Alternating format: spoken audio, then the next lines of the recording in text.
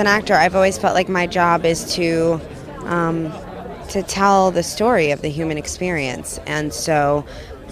that's what I do in my work, and, and it gives us all a place to kind of reflect on our experience as human beings and to learn from our stories and our journeys. Art is one of the ways that we evolve uh, intellectually, emotionally, psychologically, and it allows us to kind of enter into each other's worlds through literature and theater and dance so that we become more compassionate human beings, more open and understanding, able to listen, able to share. Get engaged in the process. We all have the right, and I think we all have the responsibility to participate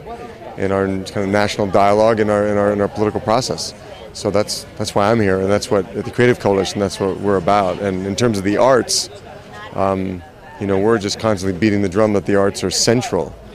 to uh, to our life, our cultural life, our educational life, and you know, too often they're pushed aside as being something peripheral, and uh, and it's a it's a mistake.